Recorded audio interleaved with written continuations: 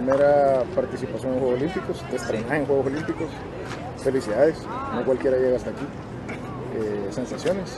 Eh, bueno, un poco de, de, tristeza por el resultado, pero a la vez confianza para el partido de mañana y, y feliz con haber debutado, de que Badminton ha llegado a unos Juegos Olímpicos con El Salvador a París.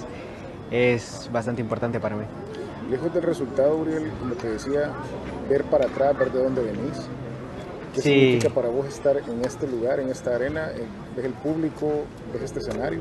Sí, un gran camino, un camino de 14, 15 años. Y al final es mis primeros Juegos Olímpicos. Creo que experiencia, no, no había participado nunca y eso pasa factura. Pero como te digo, un largo camino desde donde inicié hasta ahora, pero experiencia para, para los próximos partidos. Mucha gente ha estado pendiente en El Salvador, se iban a reunir de hecho allá en, La federación. en la federación. Un saludo por ahí. Sí, un saludo para la gente de la federación, la gente que me ha estado apoyando siempre. Creo que la gente sigue ahí a pesar del resultado y eso es lo importante, a no estar solo en las buenas.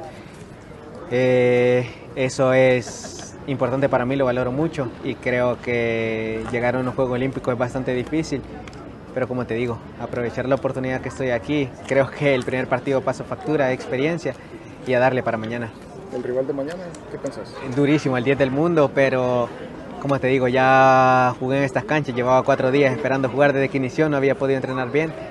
Creo que eso influye un poco. Él ya había jugado su primer partido, ya mañana ya voy a estar acostumbrado al ambiente, al volante y creo que eso va a ayudar mucho.